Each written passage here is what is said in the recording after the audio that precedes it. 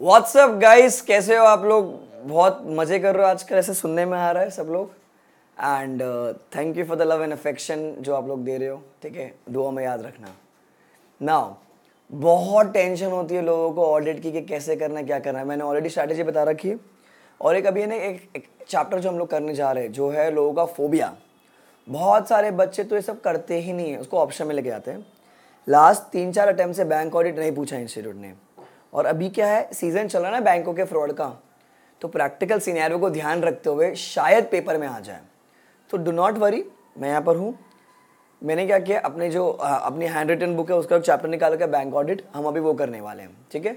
जिनके पास मेरी बुक है हैंड रिटन वाली तो आप वो प्लीज़ ले, निकाल लीजिए बैंक ऑडिट अपन करने वाले जिनके पास बुक नहीं है, ठीक है? सो मैंने लिंक दे रखा है नीचे, आप वहाँ से डाउनलोड कर लीजिए, ठीक है?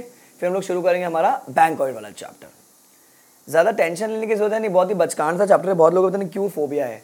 बहुत सारी ऑथर्स की बुक में बहुत लंबे लंबे, ये लंबे लंबे आंसर दे रखे हैं। अब यार चार माह का छः माह का जो वेटेज वाला चैप्टर है यार मतलब इतना कैसा कोई बच्चा याद रखे यार? कितना सारा चैप्टर्स है, उसके ऊपर कितने सारे स्टैंडर्ड्स है, उसके कितने सारे एथिक्स है, कैसा याद रखेगा इतना सारा दिमाग है। टेंशन नको जो मैं बता रहा हूँ वैसा कर लूँ। एंड आपको मैं मैच भी करा के दे दूँगा। आइए अभी। जल्दी कीजिए डाउनलोड नहीं हुआ है तो फटाफट करो। और जीवन कैसा है? ढिंचैक ढिंचैक। फट रही है बहुत ज़बरदस्त। लगने वाले टेंशन रखो ऊपर वाला देख रहा है। बच्चे ने मेहनत की है। देगा रिज़ल्ट देगा रिज़ल्ट देगा। ठीक है? सब टुकुर टुकुर, कान में ईयरफोन लगा के हर जगह देखो लाइब्रेरी में। C A final law revision part one part two part three part four सब देख रहे हैं। थैंक यू वेरी मच ठीक है? एंड जोधपुर वालों ट्रस्ट मी आज भी याद आ रही है। ठीक है, बहुत मज़े किए अपन ने पार्टी में। तो this is for basically for Jodhpur student जो हमने बहुत मज़े किए थे आखिरी दिन। वेरी सुन मिलने वाले हम लोग।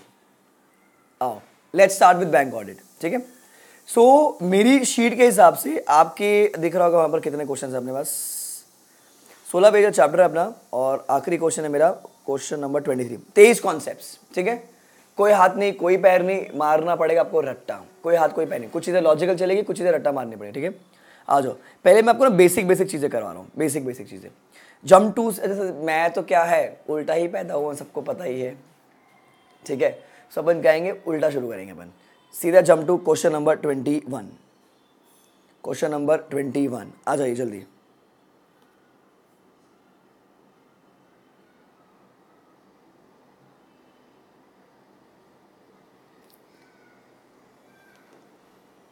चले।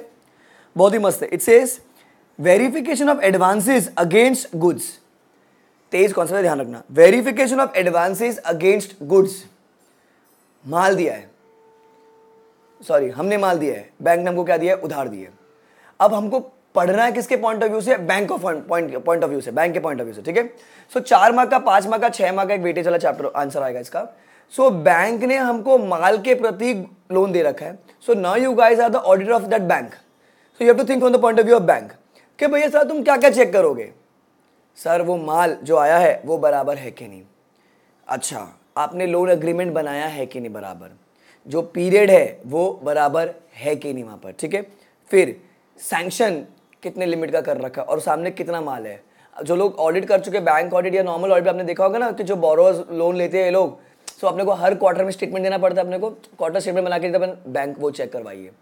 अच्छा एट रेगुलर इंटरवल्स पे, अपन क्या करवाते स्टॉक ऑइड करवाते बराबर? जनरली अपन एनुअली कर दे स्टॉक ऑइड करवाइए।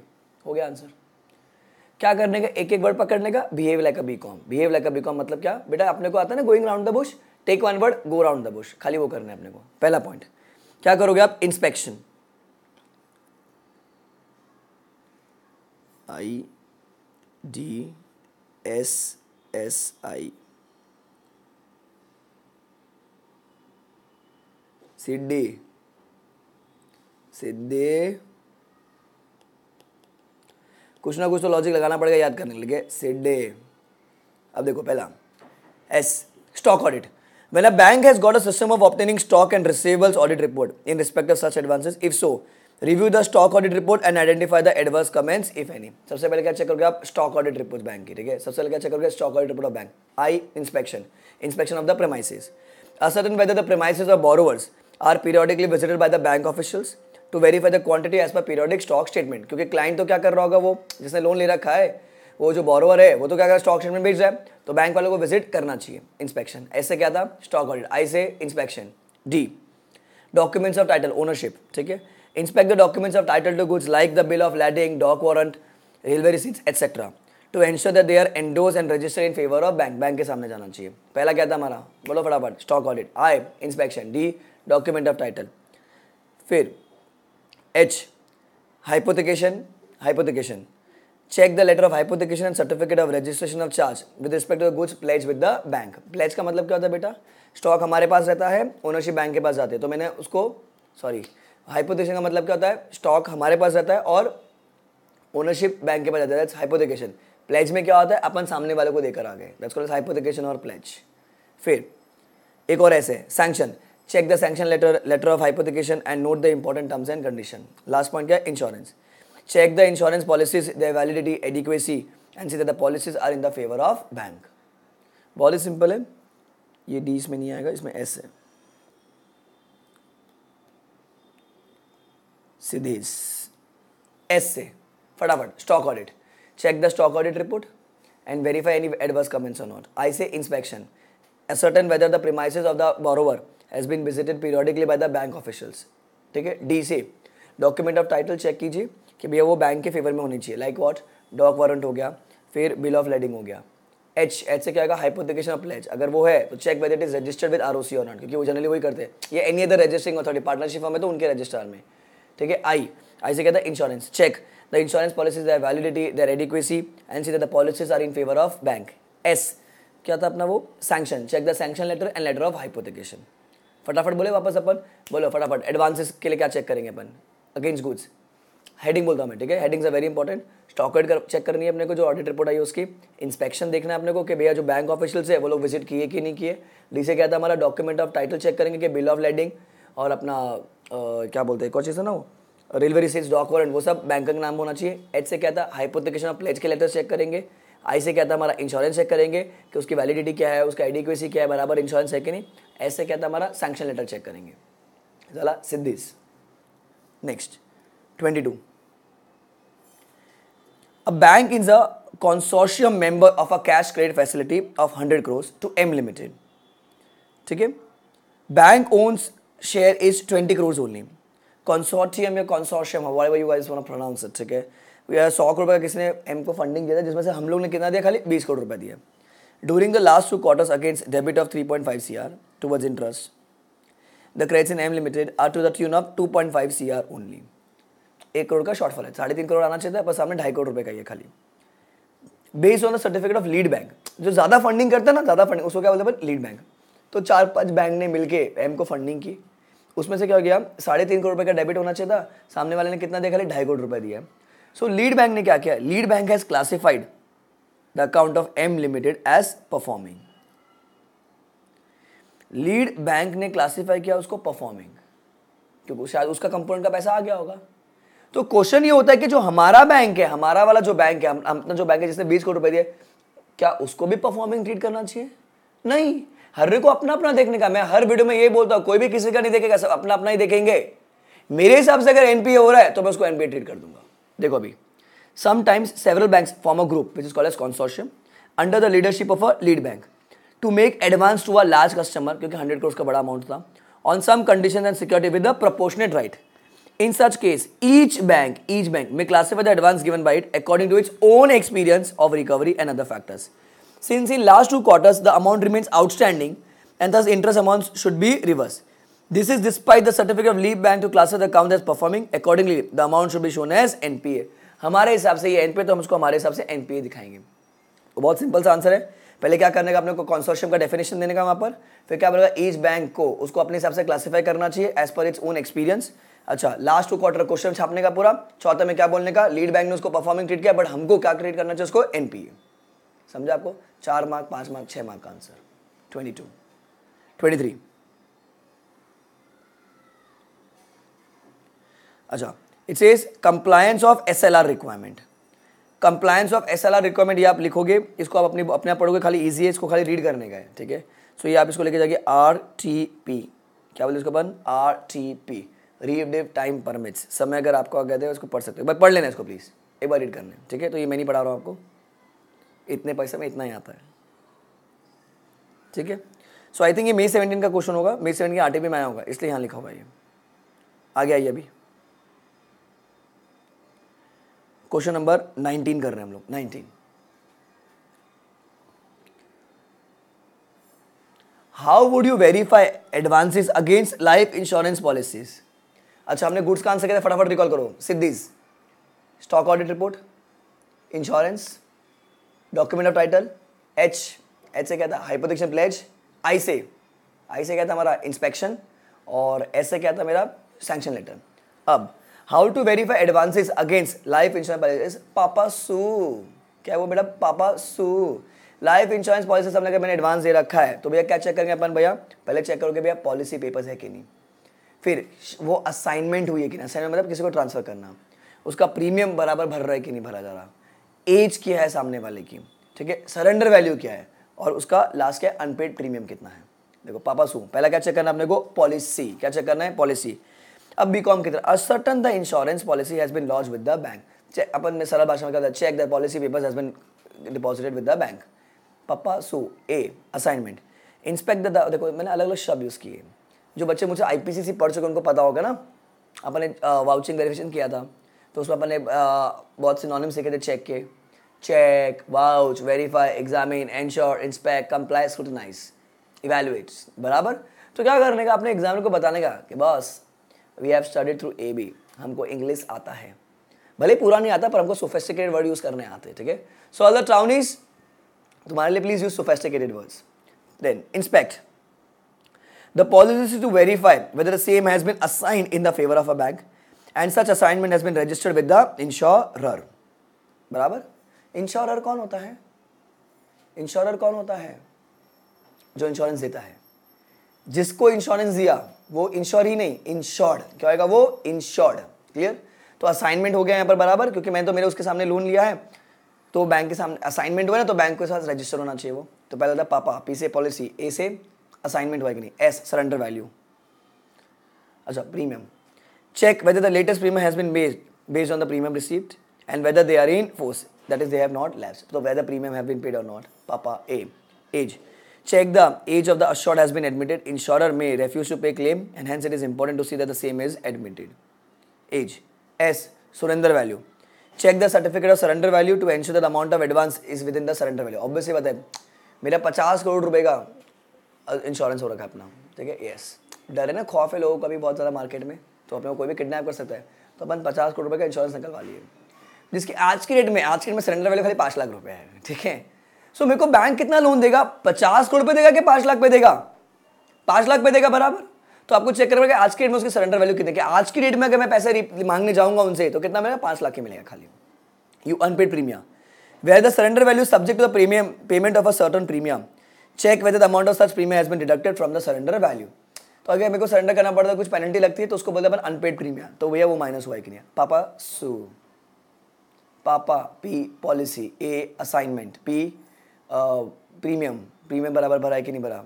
A age S surrender value U U U unpaid premium once more goods वाला आंसर बोलो फटाफट. सिद्धिस एस से स्टॉक आउट रिपोर्ट आई से इंस्पेक्शन डी से डॉक्यूमेंट ऑफ़ टाइटल एच से हाइपोथिकेशन और प्लेज आई से इंस्पेक्शन हो गया तो यहाँ पर क्या आ जाएगा हमारा? इंस्पेक्शन बराबर? एंड लास्ट पॉइंट क्या था मेरा?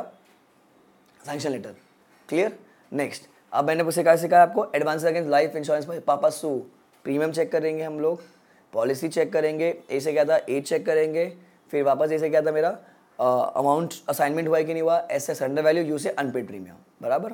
सुपर अच्छा अगर एक बैंक ने उसको अपना परफॉर्मिंग ट्रीट किया है तो जो कॉन्सोशन में बाकी लोग बैंक है तो उनको अपने एक्सपीरियंस के हिसाब से चेक करना पड़ेगा क्लियर ट्वेंटी जो जो होते हैं उसको टिक कर दिया जाएगा प्लीज़ तो we are done with twenty one twenty two twenty three हमारा नाइनटीन भी हो गया है, अब हम लोग ट्वेंटी पर है। क्या बोलते हैं, देखो। What are the N P A norms for the advances by C G और एस जी अब ये गवर्नमेंट के बड़ी लाल है, अलग ही चल रहा है पूरा तो इसका अलग ही आंसर है। What are the N P A norm for the government for advance by C G S G if a government guaranteed advance becomes N P A then the purpose of income recognition, interest on such advance should not be taken to income unless the interest is realized. बराबर?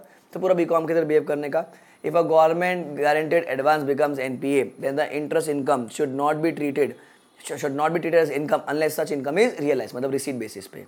फिर however for the purpose of asset classification credit facility back by C G guarantee though overdue can be treated as N P only when C G repudiates the guarantee when invoked देखो, जो सी जी ने अगर guarantee दे रखी है, कोई अगर एक asset अपन का भी क्लासीफाई करना है, कोई लोन दे रखा है, जहाँ पर सी जी ने गारंटी दी है आप उसको एनपीए कब ट्रीट करोगे? जब सीजी अपने हाथ खड़े कर देगी, भाई, मैं पैसा नहीं दूँगा।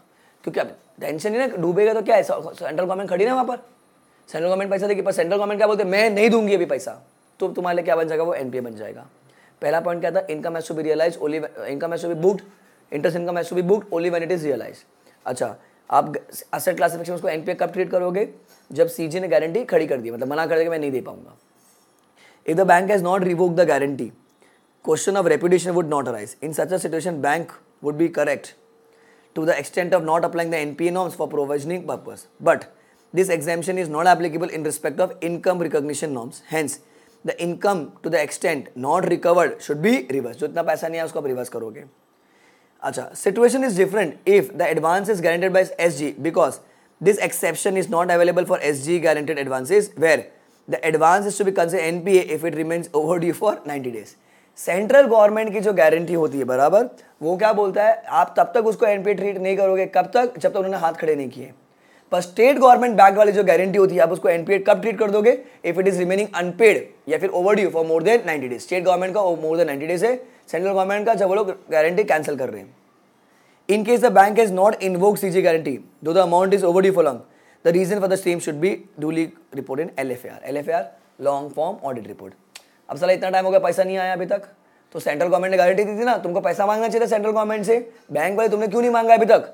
तो जो ऑडिटर वो कहाँ रिपोर्ट करेगा? उसको एल में करेगा। तो ध्यान रखना सेंट्रल गवर्नमेंट का जो होता है गारंटी आई मीन अगर कोई बैग है यहाँ पर लोन पे तो क्या करोगे आप वहाँ पर? आप उसको एम पे तभी ट्रीट करोगे जब सेंट्रल गवर्नमेंट मना कर दे कि मैं पैसा नहीं दूँगा गारंटी का। स्टेट गवर्नमेंट के लिए if it is overdue for more than 90 days interest income has to be taken as income only when it is realise मतलब रिसीट बेसिस पे। बराबर? सला बहुत टाइम हो गया सेंट्रल गवर्नमेंट की जो गारंटी थी वहाँ पर। सामने वाले पार्टी पैसा नहीं दे रही है एस सी को पैसा देना चाहिए था। बैंक वाला अगर नहीं गया उसके पास मांगने के लिए तो the auditor has to mention the fact in L F R clear super तो हमारा ट्वेंटी भी हो गया। हमारा नाइनटीन भी हो गया। आ जाइए अभी। Next how would you audit telephonic transfers and D D T T and D D T T and D D how would you audit telephonic transfer and demand draft ठीक है? अच्छा आप देखें कैसा होता है टेलीफोनिक ट्रांसफ़र मतलब इस काइंड ऑफ़ टेलीग्राम बोले जो ट्रांसफ़र होते हैं। तो एक कोड होता है एनकोडिंग और डी कोडिंग का जिन्होंने बैंक वाइड करके अगर उन्होंने देखा होगा तो क्योंकि ये जनरली सी एस को एप्लीकेबल मतलब जाके वो ही चेक कर सकते हैं। सो so, क्या बोलते हैं ऑडिटर को चेक करना पड़ेगा कि भाई जो सीनियर बैंक के ऑफिशियल्स होते हैं उन्हीं के पास वो कोड नहीं तो क्या होगा ट्रांसफ़र किया मेरे पास कोड आ गया डी कोड करने का सारा पैसा अपन वसूल लेंगे। बराबर? नीरव मोदी के भाई ठीक है सारा पैसा वसूल लेंगे। क्लियर अच्छा। फिर वो डिमांड ड्राफ्ट पता है वो आप लोग डीडी बनाने जाते हैं अपने बैंक में? तो पता है वो मैनेजर के पास जाता है वो साइन होने के लिए। सो अगर मैनेजर नहीं है, कोई और ऑफिशियल है तो ऑर्डर शुड चेक कि भैया वो जो दीदी है उस पर साइन बराबर हुआ है कि नहीं हुआ। देखो bank should have a reliable private code known only to the responsible officer of its branches for the coding and the decoding of telegrams should be done only by such officers तो there should be a reliable private coding system जिसको which should be with the responsible officers of the branches clear for the coding and decoding of telegram should be given only to such officials. Number 2 signature on demand draft सीखे signature on demand draft should be check only by an officer with the authority जिसके पास signature book होती है। All the T Ts and DDs T Ts telephone transfer D D demand draft sold by a branch should be immediately confirmed by the advices to the branches concern जो इन्होंने बेचा होगा, बराबर। If the paying branch does not receive if the paying branch does not receive confirmation of any T T और D D from the issuing branch और does not receive any credit in its account with that branch he should immediately steps to ascertain the reason. He should inquire with the reason. If the paying branch okay, does not receive proper confirmation of any TT or DD from the issuing branch or does not receive credit in their account, then the reason should be inquired into. Uh, अगर किसी को पता होगा अपना ये hero था ना जिसने uh, अपने बिरादरी वाला बंदा हर्षद मेहता उनका डीडी वाले तो फ्रॉड था सो वो क्या बोलता है कि आपने डी इशू कर दिया हो और उनका डी बाउंस बैक हो गया था। सो इसी के लिए कर रखा है कि बॉस डी का भी बाउंस बैक नहीं हो सकता। सो अगर क्रेडिट नहीं मिला डी के सामने तो बॉस पेई ब्रांच तेरे को इंक्वायरी करना पड़ेगा क्यों नहीं मिला है? तो जिसने इशू किया, उससे बात कर, क्योंकि एक दिन पैसा तो वही देगा ना। तो चार पॉइंट याद करने हैं। बहुत ही सिंपल है। बोलो, पहला पॉइंट क्या है? Bank should have a proper code for decoding and encoding बराबर? अच्छा only the senior bank officer should have that code number two signature on the demand draft should be verified by the person who is having signature book. if the TTs and DDs which are sold by the bank should be verified on the basis of advices बराबर चौथा if the payee does not receives any confirmation for TT or DD or the amount is not credited then they should inquire with the reasons with the issuing branch clear next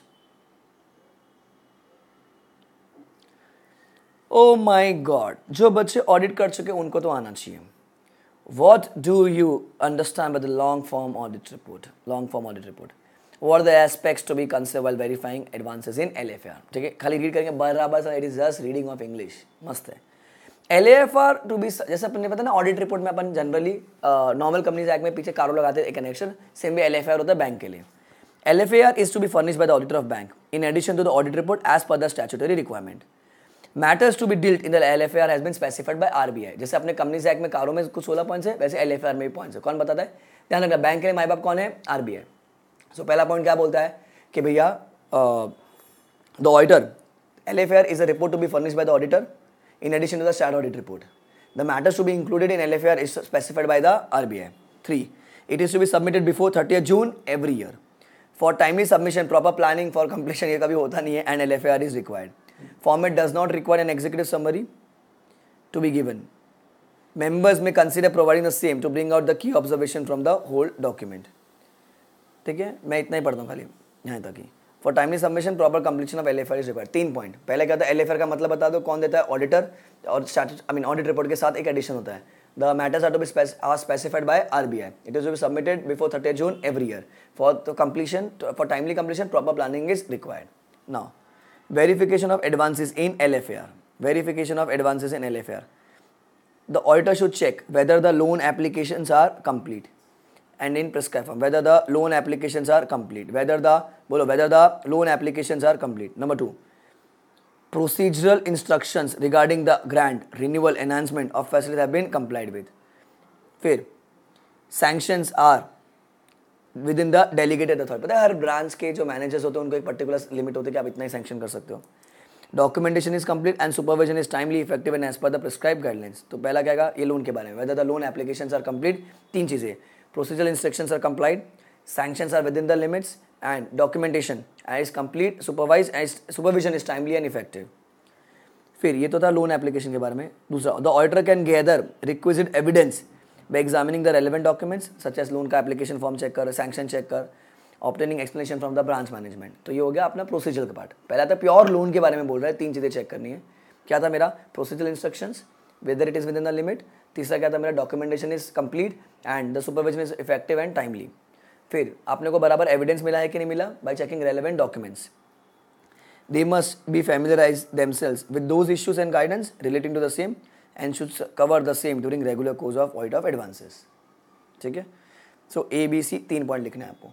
check कर लो, जब आप अपने हाथों से लिखोगे इसको पूरे page का, आपका एक सवा पेज भर जाएगा आई की suggested I mean answer sheet का। यही आपके पी में दिया, यही आप टीचर्स की बुक में दिया हुआ है। इतना याद करना है।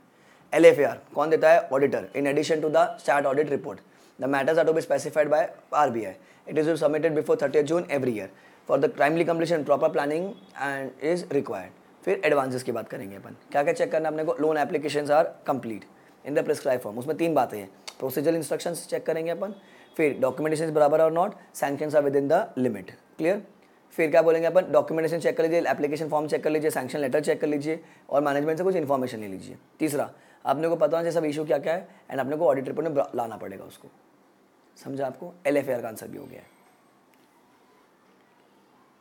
फिर सिक्सटीन मस्त है। What is the criteria for the classification of NPA चलो फटाफट दो आंसर मुझे रिकॉल करवाओ, जल्दी। एडवांसेस फॉर अगेंस्ट गुड्स के लिए। सिद्धि, जल्दी बोल बेटा। सैंक्शन आई से इंस्पेक्शन डी से डॉक्यूमेंट ऑफ़ टाइटल एच से हाइपोथिकेशन आई से नहीं आता मुझे भी। एस से स्टॉक ऑडिट रिपोर्ट बराबर? अच्छा अपने लाइफ इंश्योरेंस पॉलिसी के सामने, पापा सू policy assignment premium as surrender value and unpaid premium याद रहेगा आपको? अच्छा एक बैंक ने अगर उसको अपना एनपीए ट्रीट कर आई मीन परफॉर्मिंग ट्रीट किया है, मैं अपना एनपीए ट्रीट कर सकता हूँ उसको, मैं मेरे हिसाब से चलूँगा। हमेशा बल अपना अपना देखेंगे। क्लियर हो गया आपको चीज़? Next what is the criteria for classification of NPA ठीक है? चलो, याद रखना, नब्बे दिन और एक साल। जनरली हर जगह वही घूमेगा, नब्बे दिन और एक साल। Interest and on installment of principal has remain overdue for a period of 90 days for a period exceeding 90 days term loan के लिए मोर देन 90 डेज़ सीसीओडी के लिए।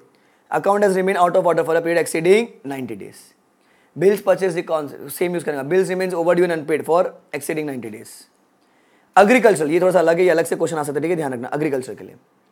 इंटरेस्ट एंड और installment of the principal is overdue for two crop season in case of short term short duration crops one crop season in case of long duration crops that is more than one year one crop season for long duration crops two crop season for short duration crops other accounts more than 90 days clear erosion in the value of security security डूब गया Bank can directly classify these accounts as doubtful or loss assets irrespective of the period for which the account is remaining unpaid.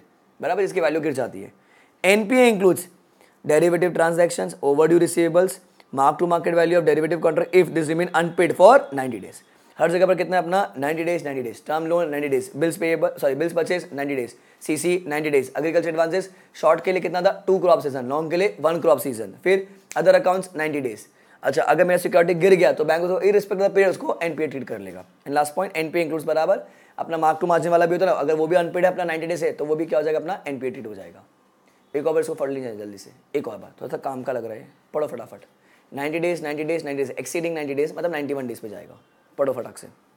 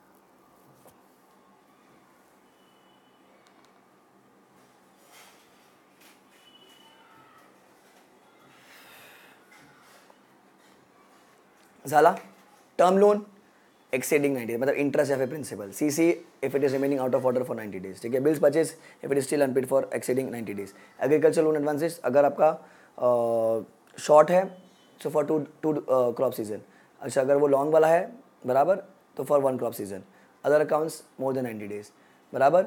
अगर मेरे security की value गिर गई रोड हो गई है तो it will be class N P A respect of the period clear and derivative अगर एक्सीडेंट नाइन्टी डेज़ है तो भी वो एन पी हो जाएगा. क्लियर आई अभी.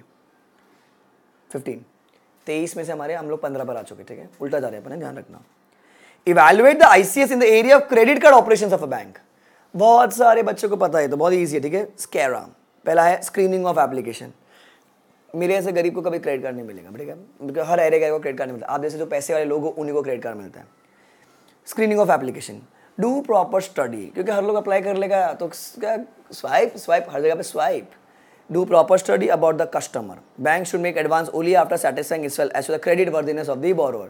Screening of application the bank should verify the credit worthiness of the borrower. ये common point है, हर जगह लिख देना, हर लोन एडवांस के पॉइंट में आएगा ठीक है? सी से। Custody of unissued card it should be with the proper person फिर evaluate the I mean accounting statement account statement आपने क्रेडिट कार्ड ले रखा है बराबर तो आपके घर में आता होगा ना स्टेटमेंट या आपके मम्मी पापा के पास आता होगा? सो अकाउंट स्टेटमेंट हर महीने आने चाहिए, बराबर? फिर examine before payment settlement of payment to the seller जैसे अपन ने माल खरीदा। जैसे मैं तो जगह शॉपिंग करा बिग बाज़ार से सो मैंने कार्ड स्वाइप किया तो मेरा बैंक जो है बिग बाज़ार को पेमेंट करेगा। Settlement of payment to the seller by the bank should be made only after due examination review of account जैसे आपने देखा ना, वो क्रिप्टो करेंसी खरीदने के लिए मना कर रखा है तो वो नहीं हो पाएगा अभी। Review of accounts check the accounts of customer to decide the limit of card and for the purpose of increasing and decreasing the limit बस, चार मार्क का answer screening of application custody of unissued card account statement हर महीने आना चाहिए आपका। आपका accounts review कर देना चाहिए क्योंकि क्रेडिट लिमिट देने के लिए इंक्रीज और डिक्रीज करने के लिए। और एक और पॉइंट है वहाँ पर एग्जामिन बिफोर पेमेंट बस इतना ही पढ़ना है। फटाफट।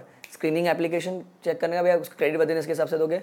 अनइशूड कार्ड की जो कस्टडी होगी, वो बराबर इंसान के पास होना चाहिए।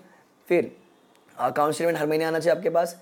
फिर जब सेलर को पेमेंट करिए उसको आप रिव्यू करना पड़ेगा। एंड लास्ट में, आपका लिमिट के लिए वो रिव्यू करता रहेगा बैठ के। बराबर? कि इंक्रीज करने की डिक्रीज करनी क्रेडिट कार्ड वाला आंसर भी हो गया। ज़्यादा? Cool question number fourteen what factors do you consider while drafting the internal control for loans and advances जितना भी अपन ने चीज़ें पढ़ा है लोन्स एंड एडवांसेस का, बराबर? वही अपन पढ़े ना भी सिद्धि वाला आंसर सैंक्शन होना चेक करना, फिर वो हाइपोथिकेशन प्लेज हुआ है क्या? Inspection stock audit documentation title pledge mortgage hypothecation वो ये. फटाक से हेडिंग पढ़ो और इसका बी कॉम की बिहेव करो. जल्दी से पढ़ो इसको.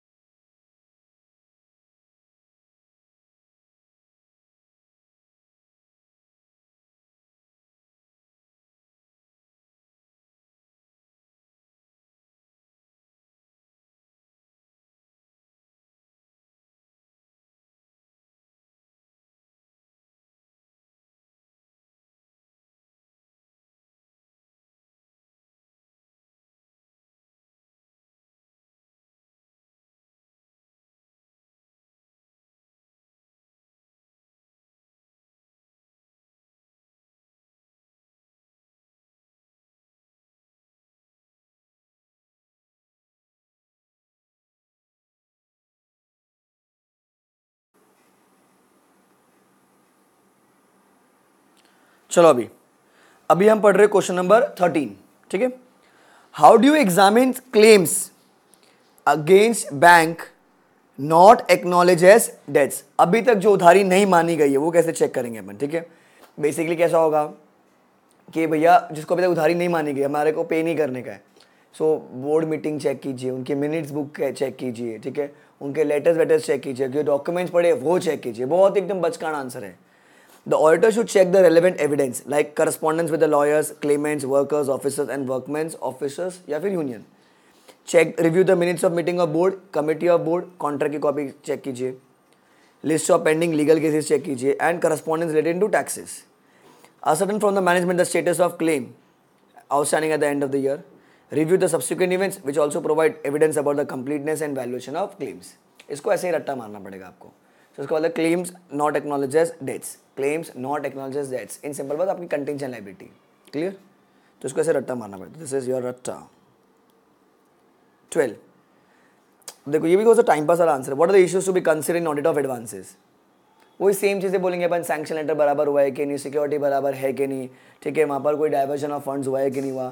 अच्छा अगर वो आउटस्टैंडिंग तरीके उसका पेमेंट हुआ है कि नहीं हुआ फॉलो हुआ है कि नहीं हुआ, अगर वो आउटस्टैंडिंग है more than ninety days and पे के प्रोविज़न लगा है कि नहीं लगा है, ठीक है? खाली इसको एक बार रीड कर लीजिए। एकदम इसे समझ में आ जाएगा। कुछ रट्टा मारने जैसा नहीं है। रीड जल्दी।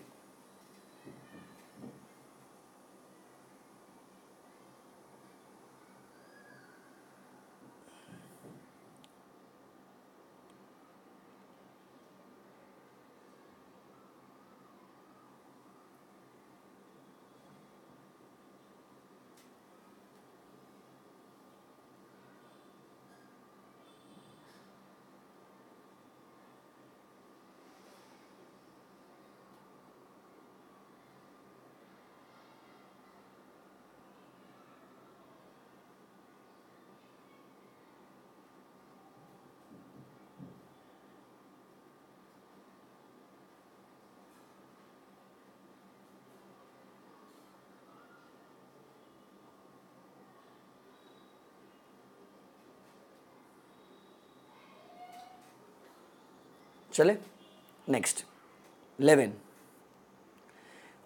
write short note on reversal of income क्या आएगा? Write short note on reversal of income so देखो दो बातें हो सकती है या तो मेरा गो मैंने अपन क्या करते हैं इनकम हमेशा रिकॉग्नाइज करते हैं अक्रू बेसिस पे बराबर? सो so, कैसा होता कि अपना एनपीए ट्रीट हो गया पर मैं तो इनकम पुराने से मांग रहा हूँ बराबर? तो भैया उल्टा करो रिवर्स करो उसको।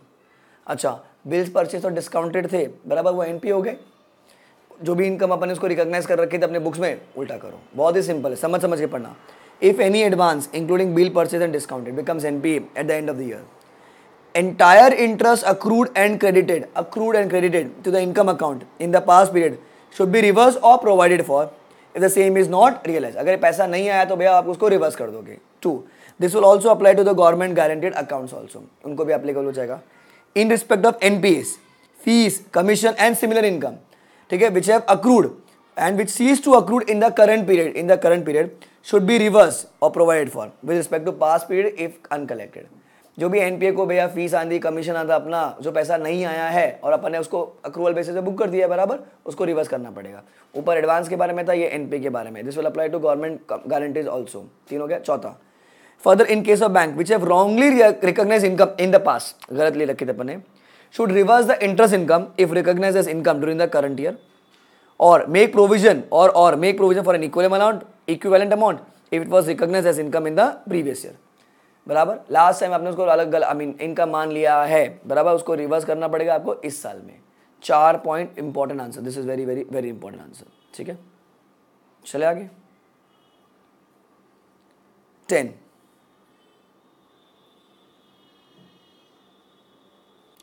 चलो, आ जाओ अभी, हम कर रहे question number ten describe the audit procedure for audit of contingent liability for audit of contingent liability and explain the disclosure requirement so जो ऑडिट प्रोसीजर है बच्चा, वो तुम पढ़ोगे, बराबर? मैं आपको डिस्क्लोजर रिक्वायरमेंट याद करवा रहा हूँ ठीक है? ऑडिट प्रोसीजर आपको याद करना पड़ा, कोई रास्ता नहीं उसका। मैं भी रीड ही करूँगा उसको।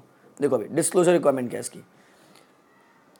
सो बैंकिंग रेगुलेशन एक्ट का, उसने क्या बोला following should be shown as a footnote to the balance sheet one contingent liability उसमें क्या क्या आएगा देखो?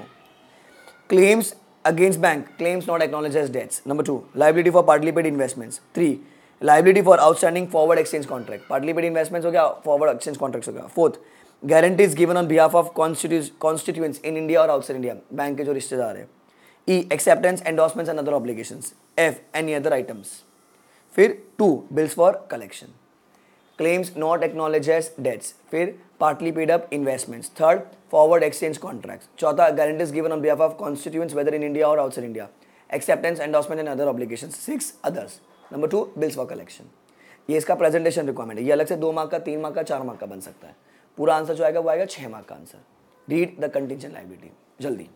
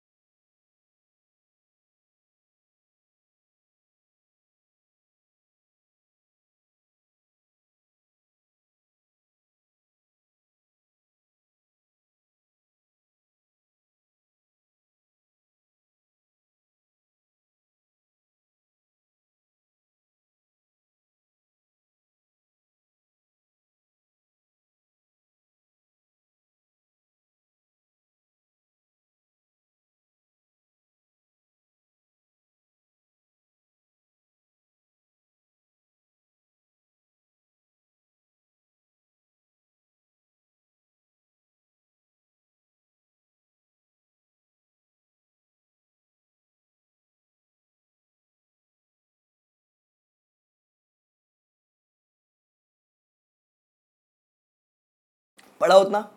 कूल अब आ जाए हमारा नेक्स्ट आंसर ओह, ये तो बच्चे बच्चे जानता है। वो स्त्रो एंड नो स्त्रो उधर का इधर इधर का उधर।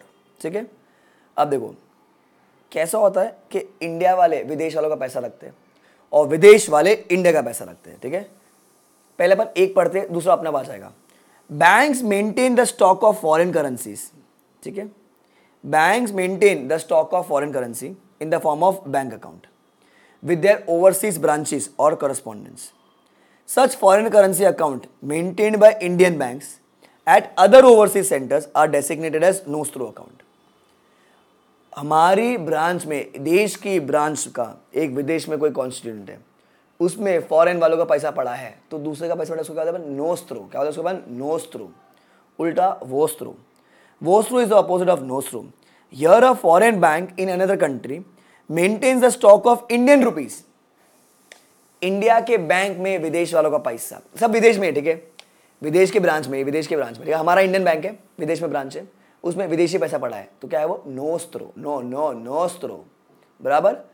विदेश में एक बैंक है फॉरेन बैंक उसमें आयनर पड़ा है। वो क्या आएगा वोस्त्रो क्या आएगा वो? Vostro whether Indian branch correspondent और local bank such Indian rupees designated as vostro account विदेश का पैसा पड़ा है अपने पास? नोस्त्रो विदेश के पास आयनर पड़ा है goes through. While examining the transaction foreign exchange, the auditor should check the reconciliation of nostro account with the respective minor account. At amount in the nostro account in stock of foreign currency in form of a bank account with overseas branches वो check करनी पड़ेगी.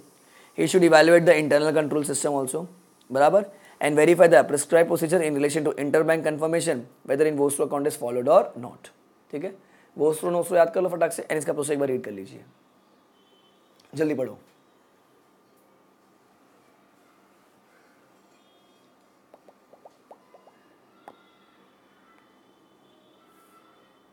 जल्दी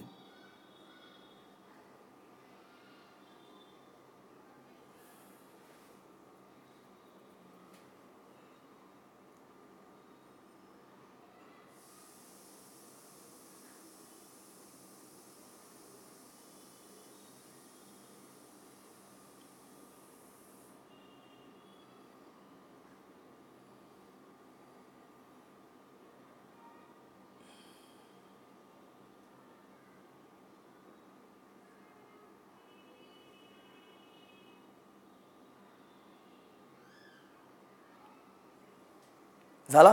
cool विदेश के अपना Indian जो bank है, विदेश का उसका जो ब्रांच है, उसमें अगर फॉरेन करेंसी पड़ा तो दैट्स नो थ्रो विदेश के ब्रांच में विदेश के बैंक में, ठीक है, अगर आई पड़ा हुआ है तो क्या हो जाएगा वो? वो थ्रू दो ऑर्डर शुड चेक दोनों का मैचिंग करके. क्लियर क्वेश्चन नंबर एट आपका रट्टा वाला आंसर है, इसको आप रट्टा करेंगे. ठीक है, अब ये पढ़ोगे. पढ़ना है, छोड़ना नहीं है, पढ़ना है. आया हुआ ये, पढ़ना है. मैं पढ़ा रहा हूँ आपको question number seven again advances to dot com companies advances to dot com companies जब ये ऑनलाइन कंपनीज़ आई थी ना, जितने भी फ्लिपकार्ट हो गया जबोंग हो गया स्नैपडील हो गया, इनको क्या बोलते अपन? डॉट कॉम कंपनीज़ क्या बोलते अपन? डॉट कॉम कंपनीज़ देखो अभी इधर। It says internal control check कर लो। वही सेम एडवांसेज है। Internal control sanctions borrowing power letter of I mean sanction बोलते अपन सिक्योरिटी मॉडगेज प्लेज वो ये सेम चीज़। खाली यहाँ पर क्या बोलना अपने को? डॉट कॉम बोलना है। बाकी पूरा आंसर सेम है। जो अपने आगे एडवांसेस पढ़ा था ना, वही आंसर है। एक बार इसको भी रीड कर लीजिए, जल्दी।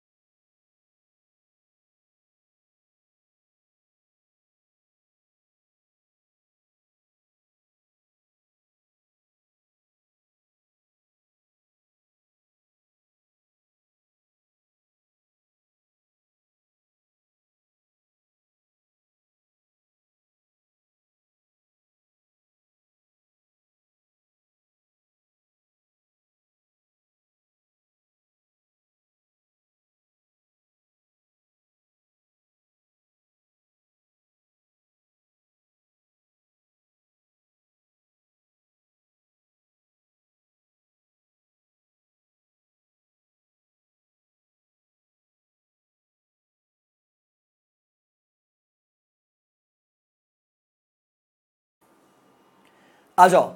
तो अभी हम लोग जो नेक्स्ट आंसर करें वो करें concurrent audit of a bank with reference to the RBI guidelines मतलब इनका स्कोप क्या है? बहुत ही इजी आंसर एकदम। देखो क्या क्या चेक करेंगे? बेसिकली जब आप ऑडिट करने जाते हो क्या क्या चेक करते हो? बैंक में डेली कैश ट्रांजेक्शन बराबर हो रहा है कि नहीं हो रहा है? बराबर ओवरड्राफ्ट सीसी कैश रेट वो सब चेक करेंगे। कुछ डिविजन मिलती है तो उसको अपन डिटेल में चेक करेंगे। हाई वैल्यू ट्रांजेक्शन चेक करने का purchase and sale of share check करने का अपने को रेवेन्यू लीकेज चेक करने का अपने को। बराबर? Foreign exchange transaction with RBI guideline से मैच करने के अपने को। बहुत ईजी है, देखो। पहला Daily cash transaction with reference to the abnormal receipts and payment should be checked. Purchase and sale of shares and securities should be checked. Verification of advances, OD, TD, temporary overdrafts, cash credits, term loans, LC, वो सब check करने का. Any deviation should be examined in great detail. Verification of foreign exchange transactions, revenue leakages, verification of high value transactions, safe custody of customer forms, I mean security forms. Customers complaints है whether कैसे deal की हुई उन्होंने study of RBI and internal inspection reports statutory auditors report and compliance threads बराबर? तो ये scope है किसका? कॉन्करेंट ऑडिट का। किसका स्कोप है? कॉन्करेंट ऑडिट का। क्लियर हो गया? एकदम इजी आइए आगे। No this is again in important answer inter company office adjustments देखो जब what is the procedure for verification of branch adjustment account appearing in accounts of book branch adjustment या फिर inter adjustments in the audit of bank बहुत ही easy है। In finalising in finalising in final balance sheet of a bank. This balance represents the difference between inter-branch debit and credit and should normally comprise the comprise items in transit as on closing date जैसे check वैक जो होते हैं most commonly used by the same persons in committing fraud. Therefore, verification is of great importance. The procedure is as follows. So inter branch जो adjustments होते हैं debit and credit वो balance दिखाएगा आपको जनरली इसको इसमें बहुत ज़बरदस्त फ्रॉड होता है तो इसको आपको डिटेल में चेक करना पड़ेगा the following is a procedure explain कर दिया क्या procedure check all the branch accounts are periodically reconcile check all the adjustments in accounts and ensure that adjustments are done properly and supported by documentary evidence check पहले क्या बोलेंगे अपन? All the branch accounts are properly reconcile check the adjustments in the accounts and it is supported by documentary evidence third verify the reversal entries अपन पढ़कर आगे. Are properly made under proper authority after due explanation and evidence बराबर? फिर एक हो गया। हो गया। तो बेसिकली ब्रांच का डेबिट एंड क्रेडिट का जो डिफरेंस होता है वो आपका इंटर ब्रांच एडजस्टमेंट वो बैलेंस शीट में दिखता है आपको। तो this is a matter of great fraud बराबर? सो आपको इसको बहुत इंपॉर्टेंस आपको चेक करना पड़ेगा। Following is the procedure check whether the proper accounts are inter branch accounts are reconcile properly उसके सपोर्टिंग डॉक्यूमेंट्री एविडेंस चेक करोगे आप, जो एडजस्टमेंट अकाउंट के। Verify the reversal entries is made under proper authority very very very important answer ठीक है? Next ओहो, ये तो टाइम पास आंसर एकदम what is the principle enactments covering bank audit देखो, खाली रीड कर लो समझोगे नेशनल वाइज बैंक के लिए कौन सा है? Banking regulation act banking companies acquisition and transfer of undertaking act non nationalise bank के लिए भी क्या आ जाएगा? Banking regulation act and companies act दो हज़ार तेरह. कॉपरेटिव बैंक के लिए भी banking regulation act and cooperative society act and cooperative society act of the state in which they are located ये भी लगता है उनको रीजनल रूरल बैंक के लिए R act and banking regulation act S B I subsidy के लिए S B I act S B I subsidy bank act and banking regulation act देखो, हर जगह पर बैंकिंग रेगुलेशन एक्ट तो है. Apart from the above a और क्या क्या लगेगा? R B I act nineteen thirty four I T act prevention of money laundering act credit information companies regulation act and SARFAESI act shall also apply bank oil वाले को इतना इतना साल है। Banking regulation act banking companies act regional rural bank act copy society act money prevention of money laundering R B I act nineteen thirty four regional rural bank act SARFAESI act S B I act S B I subsidiary act सभी इतने सारे act लगते हैं, ठीक है? सो याद करना अपने को। ईजी है? Cool question number three is your homework sorry आप घर पे ही देख रहे हो ये तो बट आपको इसको पढ़ना है। रीड करना ये मैं नहीं पढ़ा रहा हूँ, आपको पढ़ना है इसको, ठीक है? Two what are the exception to the general rule of treating advances NPA अभी अपन एनपीए पढ़ कर आए थे more than ninety days more than ninety days more than ninety days short crops के लिए two crop season long crops के लिए अपने वन क्रॉप सीज़न बराबर? अब इसके एक्सेप्शन क्या क्या है? जैसे फॉर एग्ज़ाम्पल कि अपने को सर बोरोवर वाइज देखने का, जैसे मैंने एक लोन ले रखे बहुत सारे, दस लोन दस अलग अलग टाइप के लोन ले रखे कोई टर्म लोन ले रखा है, कोई पर्सनल लोन ले रखा है, कोई कार लोन ले रखा है, कोई होम लोन ले रखा है। ओडीसीसी। मैंने एक जगह पर डिफ़ॉल्ट कर दिया सी सी का मैं नहीं दे रहा हूँ, या टर्म लोन मैंने डिफ़ॉल्ट कर रखा है। पर मेरे बाकी से बराबर पेमेंट हो रहे हैं। एक जगह से मेरा डिफ़ॉल्ट है खाली तो क्या मेरे को एनपी ट्रीट करेंगे वो लोग? क्या खाली मेरा सीसी अकाउंट का या टर्म लोन अकाउंट का ही एनपी ट्रीट होगा कि मैं पूरा एनपी हो चाहूँगा? बोलो, कैसे ट्रीट करना अपने को? Borrower wise and not facility wise कैसे ट्रीट करना अपने को? बोरोवर वाइज पहला, it says NPA should be determined borrower wise and not facility wise.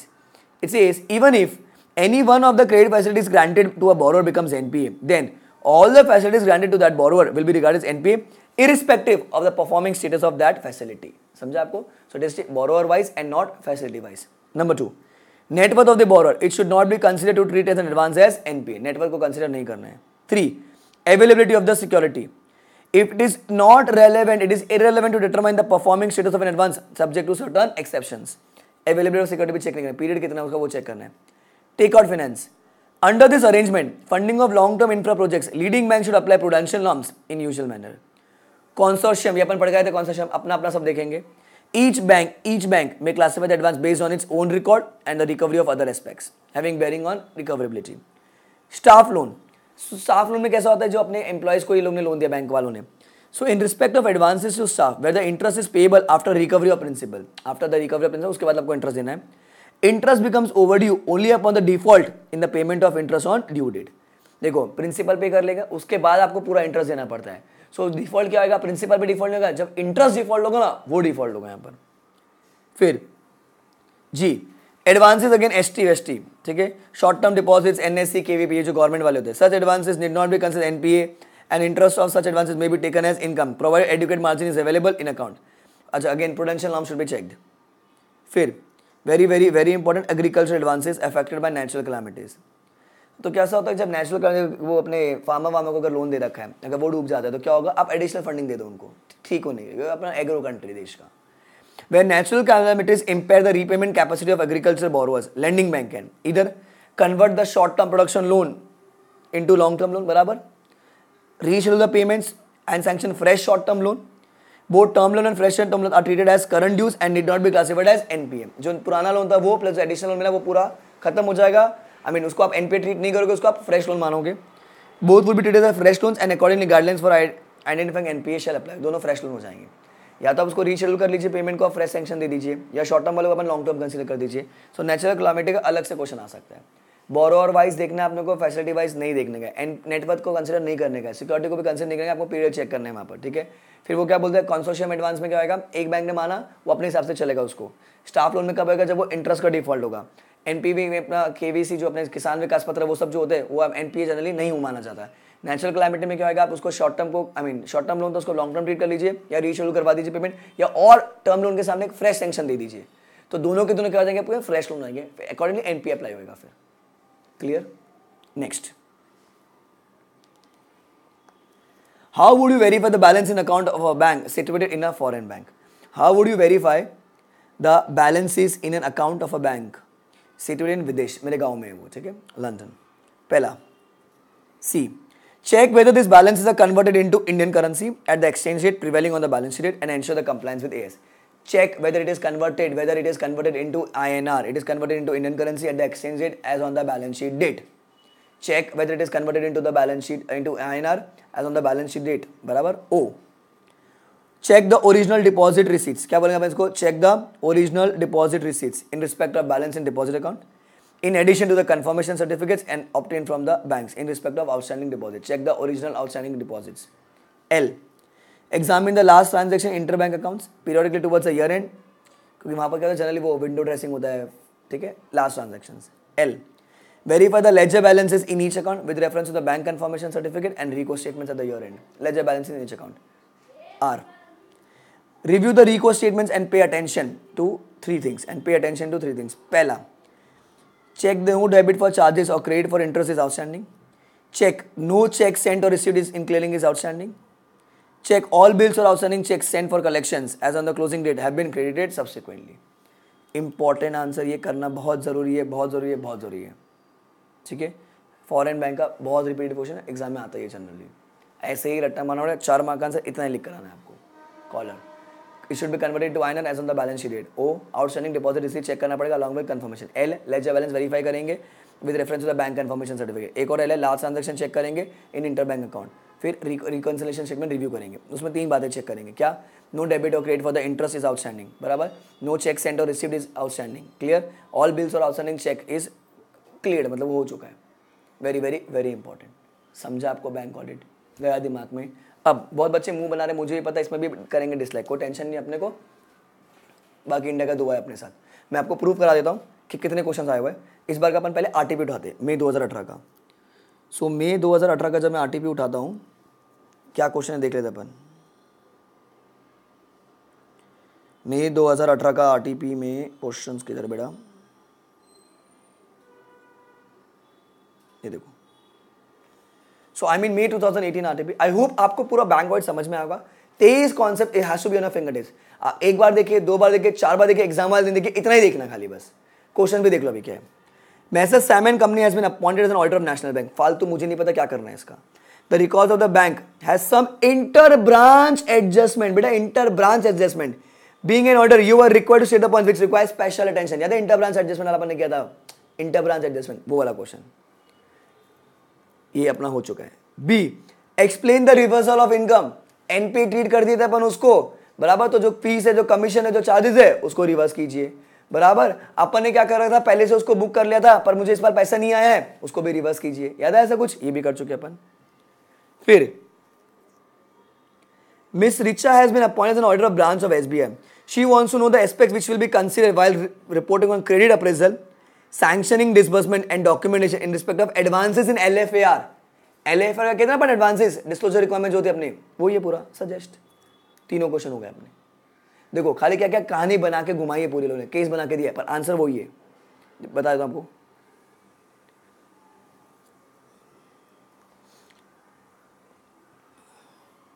Ira inter office adjustment inter branch adjustment point number five ठीक है?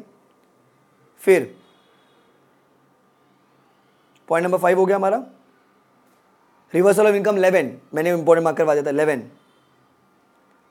और L F A R का ये रहा सेवनटीन देखो, दिख रहा है आपको? Verification of advances and L ये सेम चीज़। है हो गया मई 2018 आरटीपी स्वाहा। इतना ही क्वेश्चन है। ठीक है? उसके बाद मैं उठाता हूँ अभी। क्या उठाएँगे अपन? ये क्या है? नवंबर सत्रह में तो क्वेश्चन नहीं आया था। नवंबर सत्रह के आरटीपी ले रहा हूँ मैं। नवंबर सत्रह के RTP this is November seventeen RTP ठीक है? It's is Your firm has been appointed the central stat auditor of a nationalized bank. The bank follows financial year's. The bank is a consortium member of CC Facilities for 50 crores to X Limited. Bank's own share is 10 crores only. During the last two quarters against a debit of 1.75, the bank has received only 1.25. Based on the certificate of lead bank, the bank has classified the account of X Limited as performing. एक bank ने खुद को बोला कि मेरा performing है हमको क्या करना है हम उसको एनपीए करेंगे पॉइंट नंबर ट्वेंटी टू हमारी बुक का same 10b. NISA Bank has appointed your firm of CA as a branch auditor for a financial year 16-17. Being head in charge of the assignment, while planning, you distributed the work among your team members and assigned Mr. Harry for the verification of balances. ऊपर का full time पास है question क्या है verification of balance in account of a bank situated in a foreign country situated in a foreign country however he is being fresh to bank audits he needs your guidance point number one अपने book का नवंबर सत्रह का RTB भी कर लिया अपन मई अठारह का आरटीपी हुआ, नवंबर सत्रह का आरटीपी भी हो गया, ठीक है? अब इस बार का मॉक पेपर भी कर लेते अपन। आ जाइए एक बार।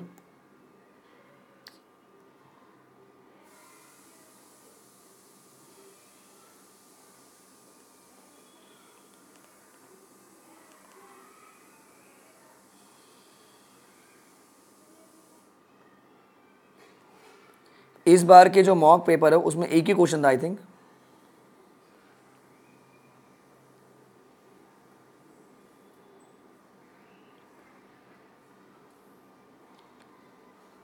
एक क्वेश्चन था, मैं जस्ट चेक कर रहा हूँ। सी डी में नहीं है टू में नहीं है। डी में नहीं है। थ्री ए थ्री भी नहीं है। थ्री सी भी नहीं है। फोर ए भी नहीं है। ओहो, ये है। Four B telegraphic transfers and demand draft the audit assistant would require following guidance telegraphic transfer याद है वो अपना? Decode encode signing authority D D pay करना चाहिए। अगर बेचा है तो एडवाइसिस चेक कीजिए। याद है? वो सेम चार पॉइंट यहाँ पर है। अच्छा अगर आपको पैसा नहीं आया तो पुराने जो अपना इशूइंग ब्रांच है, उससे वेरीफाई करिए तो T T and D D पर आए टेलीफोनिक ट्रांसफ़र डिमांड ड्राफ्ट बराबर? So that is the question in our book on T T D D का देख लीजिए एक बार, क्या है? तो याद रहेगा आपको। T T D D baby किधर गई तो? T T D D eighteen important mark लीजिए ये अपने मॉक पेपर में। सो so, मैंने आपको मॉक का क्वेश्चन करा दिया दोस्त। मैंने तेको मई अठारह दो हज़ार अठारह करा दिया आरटीपी मैंने तेको नवंबर अठारह नवंबर सत्रह के आरटीपी करा दिए। तेईस क्वेश्चन है बैंक वर्ड लेके ऑप्शन में मत लेके जाना अभी। मैंने आपको वीडियो दे दिया अभी ठीक है? जो वादा किया था निभाना था मैंने निभा दिया है ठीक है? अच्छा याद रखना लास्ट चार पाँच अटैम्प से इंश्योरेंस नहीं पूछा है तो शायद अपने को आ जाओ auditor bank requesting you do not take this chapter in option गया भेजे में ऐसे ही पढ़ना है। अब पास हो जाओगे ठीक है? एक ही रिक्वेस्ट है, दोस्त, दुआ देते रहना, ठीक है? जितना दुआ दोगे, उतना तुम्हारे लिए भी अच्छा है, मेरे लिए भी अच्छा है। मैं भी दुआ कर रहा हूँ कि जो बच्चा मुझे देख रहा है, ठीक है? जो बच्चा मुझे देख रहा है अप्रॉक्सीमेटली पैंतीस, छत्तीस हज़ार लोग देख चुके हैं, ठीक है?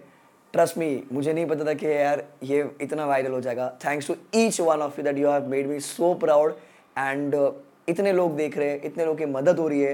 And trust me it's amazing ठीक है? मम्मी पापा को खुश रखना, पास हो जाना, उनको प्राउड फील करवाना okay okay? God bless you take care Baba enjoy and कुछ और होगा तो मैं आपको बताता रहूँगा। ठीक है? Wait for the D day दुनिया खत्म नहीं हुई अभी भी। कर सकते हैं हम. We can do it love you all guys bye take care all the best